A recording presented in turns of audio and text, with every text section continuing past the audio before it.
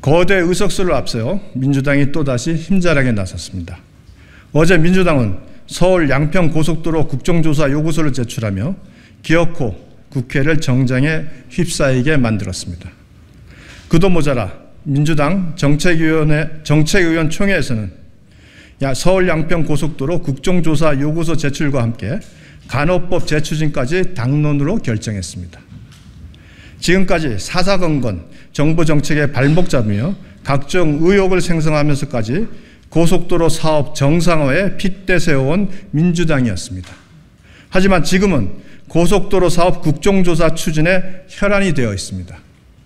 민주당 주장대로 국정조사를 실시하게 되면 오히려 고속도로 사업이 지연되는 결과만 나을 뿐입니다. 자가당착 그 자체인 것입니다. 어제의 민주당과 오늘의 민주당이 어떻게 이리도 다를 수가 있습니까?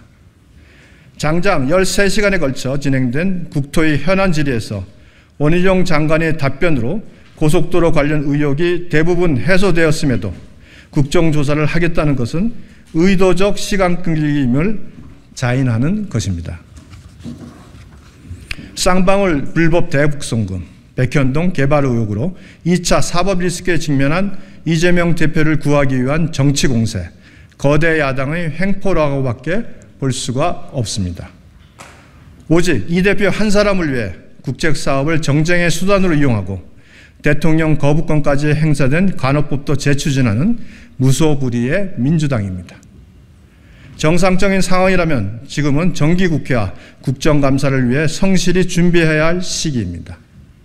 그럼에도 끝끝내 국정조사를 밀어붙이는 민주당은 공당으로서 의무를 저버린 것과 다름없습니다.